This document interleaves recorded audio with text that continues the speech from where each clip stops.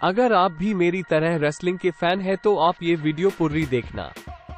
आपने कभी रेसलिंग देखी है तो आप लोगों को पता होगा कि रेसलमेनिया डब्ल्यू का सबसे बड़ा इवेंट होता है। और लोग इसके लिए सच में पागल है। इस साल का इवेंट 5 और 6 अप्रैल को शेड्यूल हुआ है। और जहाँ टी के ऑनलाइन मीडिया की माने तो ये डब्ल्यू का सबसे बड़ा रेसलमेनिया इवेंट होने वाला है। पर क्यों? इस बार रेसलमेनिया की इतनी कंट्रोवर्सी क्यों हो रही है? तो आज यही एक्सप्लेन करते हैं। आप लोग देख रहे हैं दी एक्सप्लेनर आप लोगों को हमारा नमस्ते। वीडियो स्टार्ट करने से पहले हमारी वीडियो को लाइक और चैनल को सब्सक्राइब कर ले। इस साल का match tribal chief Roman Reigns versus American nightmare Cody Rhodes का मेन इवेंट होगा, और ये रेसलमेनिया के डे टू पर शेड्यूल किया गया है। मेन इवेंट से पहले थोड़ा दोनों के बैकग्राउंड को एक्सप्लेन करते हैं। रोमन रेन्स ने सेठ रॉलिंस और जॉन मॉक्सली यानी डीन एम्ब्रोस के साथ द शील्ड के रूप में डब्ल्यू डब्ल्यू मेन स्टार्ट किया था। रोमन रैंस का स्टॉट एक नंबर था। इन सभी ने मिलकर ऑलमोस्ट सारे डब्ल्यू डब्ल्यू सुपरस्टार्स को खूब मारा था। ऑडियंस को शील्ड के सारे मेंबर्स बहुत पसंद थी। पर बाद वे शील्ड के सारे मेंबर्स अलग हो गए। इससे रोमन रैंस के कैरेक्टर पर कोई फ़र्क नहीं पड़ा और रोमन रेंज ने एक कदम आगे जाकर डब्ल्यू टाइटल मैचेस मेन अपना कंट्रीब्यूशन दिया। रोमन रेंज जिस भी टाइटल पर मैच खेलते, वो उससे जीत लेते दी। रोमन रेंज ने सभी रेसलर्स को खूब मारा और रोमन रेंज को रिंग में हराना सच में बहुत टफ है। ये सब बात को पता चल गया है। अभी रोमन रेंज ऑलमोस्ट 1300 डेज़ से डब्ल्यू अनडिस्प्यूटेड चैंपियन बनने हुए हैं। इससे आप तीन साल से ज़्यादा का टाइम मान सकते हैं। ये अपने आप में ही एक वर्ल्ड रिकॉर्ड बनता जा रहा है। इतने सालों मेन रोमन रेंज ने बहुत बार अपना टाइटल हर डब्ल्यू डब्ल्यू स्टार से बचा कर रखा है। और अभी तक का अनन्हे होई भी हरा नहीं पाया है। रोमन रेंज ने सब रेसलर्स को डे डे कर मारा है और टाइटल अपने पास रखा है। टाइम के साथ है रोमन रेंज ने पॉल हेमन और अपने कजन्स दी उसोस और सोलो सिका के साथ मिलकर द ब्लड लाइन ग्रुप बना लिया, जिससे रोमन रेंज की पॉपुलैरिटी और इंक्रीज काली है। साथ ही उन्होंने अपने आप को ट्राइबल चीफ की पोजीशन दे दी, जो कि ग्रुप का लीडर होता है। दूसरी तरफ़ है कोडी रोड्स उनकी फैमिली भी एक रेसलिंग फैमिली है। कोडी रोड्स ने अपना करियर का पहला मैच रैंडी ऑटन से किया था। और कोडी रोड्स को रैंडी ऑटन ने बहुत मारा था। रैंडी ने पूरे मैच कोडी को दिद कर मारा और ये था कोडी रोड्स का पहला मैच। कोडी रोड्स ने इसके बाद और बहुत से मैच खेले, जिसमें वो कभी कभी जीत जाते थी, पर ज़्यादा मैच में कोडी को रेसलर्स बहुत मारते थी। इसके कुछ टाइम के बाद कोडी रोड्स को डब्ल्यू डब्ल्यू वालों एक नए थीम स्टार डस्ट के कैरेक्टर मेन इंट्रोड्यूस किया था, ताकि ऑडियंस को कुछ नया देखने को माइल। और कोडी को उनके भाई गोल्ड डस्ट के साथ मैचेस मेन देखा जाता था। पर स्टार डस्ट का कैरेक्टर कोडी को खुद भी पसंद नहीं था। यह कैरेक्टर सबसे और ज़्यादा मार खाता था। अगर किसी को कोई मैच जीतना है तो स्टार डस्ट को मार लो और मैच जीत लो। फिर भी कोडी ने इस कैरेक्टर को आचे से निभाया। और लास्ट में थोड़े टाइम के बाद लोगों को भी ये कैरेक्टर ज़्यादा कोई पसंद नहीं था। लोग अब और ये कैरेक्टर देखना नहीं चाहते हैं कंपनी को पता चल गया था। और थोड़े टाइम के बाद कोडी को कंपनी से हटा दिया गया, जिससे कोडी को बहुत बुरा लगा था। रोमन रेंज डब्ल्यू डब्ल्यू मेन काफ़ी डोमिनेटिंग चल रहे थी। रोमन ने बहुत सारे डब्ल्यू डब्ल्यू सुपरस्टार्स के साथ कमाल के मैचेस दिए।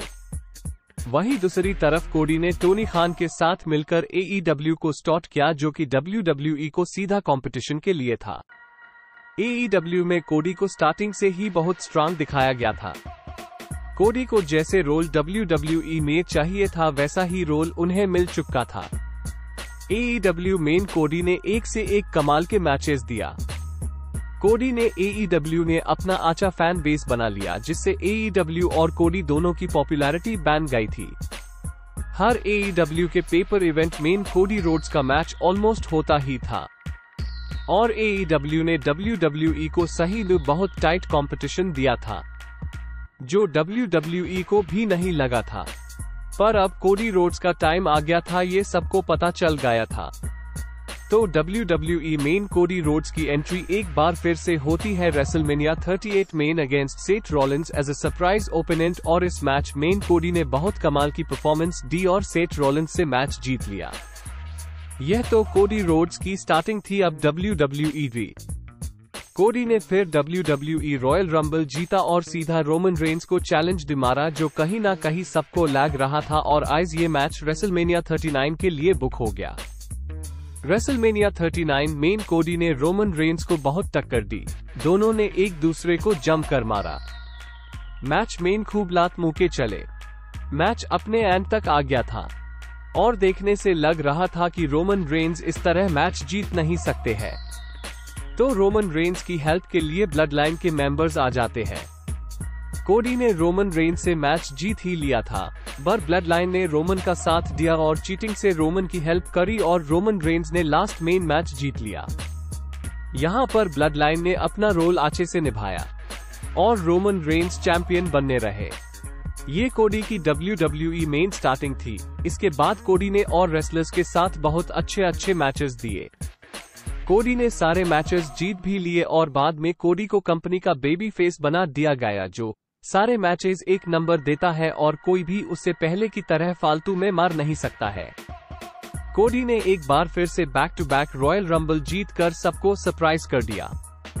इस बार सभी को कहीं ना कहीं CM Punk versus Roman Reigns का मैच नज़र आ रहा था, पर कोडी ने लास्ट मोमेंट मेन सीएम पंक को रिंग से एलिमिनेट कर दिया। और फिर से रोमन रेंस को रेसलमेनिया मेन टाइटल के लिए चैलेंज कर दिया। जो काफ़ी बड़ी बात है कि उनकी लास्ट ईयर भी यही मैच रेसलमेनिया मेन बुक था। पर यहाँ कुछ और ही स्टोरी लाइन बनती है। यहाँ अब एक दम से Dwayne Johnson also known as the Rock की एंट्री होती है। रॉक के आती ही किसी ने शायद ही सोचा था कि अब रेसलमेनिया में क्या होगा? बात यह है कि रॉक, रोमन रैंस के कजिन भी है। और वो रोमन से टाइटल मैच के लिए रेसलमेनिया ने मैच की डिमांड कर रहे थी। जो सबके लिए बहुत इंटरेस्टिंग और शॉकिंग भी था। अब देखने पर लग रहा था कि मैं इवेंट रोमन वर्सेस रॉक होगा। ये बात कोडी रोड्स को भी दिख रही थी। और कोडी ने बिना किसी प्रॉब्लम के अपना टाइटल शॉट द रॉक को दे भी दिया। और रेसलमेनिया से अपना नाम वापस ले लिया। पर कुछ दिनों के बाद कंपनी को पता चलता है कि पब्लिक रोमन वर्सेस रॉक का मैच देखना नहीं चाहती है। लोगों को फिर से रोमन वर्सेस कोडी का मैच चाहिए। और ये बात रॉक को भी पता चल जाती है। और रॉक बिना टाइम लिए कोडी को टाइटल शॉट वापस देते हैं और रॉक खुद ही रोमन वर्सेस कोडी का मैच अनाउंस करते हैं। पर ये करने से पहले रॉक ने कोडी को एक थप्पड़ दे मारा। और अब रॉक ने हील फेस ले लिया था। लोगों को रेसलमेनिया के इवेंट में और ज़्यादा इंटरेस्ट आ गया था। बाद में द रॉक ने ब्लड लाइन ग्रुप को ज्वाइन भी कर लिया और रोमन को अपना ट्राइबल चीफ बना लिया। कोडी रोड्स रॉक से बहुत नाराज़ थे और वो रॉक को सीधा फाइट के लिए चैलेंज दे रहे थे। पर रॉक ने इस पर एक नया चैलेंज दिया और चैलेंज ये था कि अब रेसलमेनिया मेन डे वन में एक टैग टीम मैच होगा जिसमें कोडी रोड्स अपने साथ कोई भी एक पार्टनर को लेकर आए और ब्लड लाइन से रोमन रैंस और खुद रॉक को फेस करे। अगर ये मैच कोडी ने जीत लिया तो डे टू मेन रोमन वर्सेस कोडी के मैच मेन ब्लड लाइन का कोई मेंबर इंटरफेयर नहीं करेगा। पर अगर रोमन और रॉक ने मैच जीत लिया तो डे टू मेन ब्लड लाइन की पूरी टीम मैच मेन कुछ भी कर सकती है। कोडी ने इस मैच के लिए अपना पार्टनर सेट रोलिंस को बना लिया और रॉक को एक थप्पड़ मारकर मैच एक्सेप्ट कर लिया, जिससे ये पूरी रेसलमेनिया की पॉपुलैरिटी और भी बढ़ गई। और अब लोग बस वेट कर रहे हैं। और ये मैच लास्ट में कौन जीतेगा देखने की बात है। लॉग रॉक को भी हील के रूप में भी बहुत दिनों के बाद देख रहे हैं। और यही सबसे इंटरेस्टिंग बात है। बाकी हम भी वेट करते हैं रेसलमेनिया का और यही थी आज की वीडियो आई होप आपको मेरी वीडियो अच्छी लगी होगी। और आप भी कमेंट सेक्शन में बताएँ कि कौन ये मैच जीत सकता है।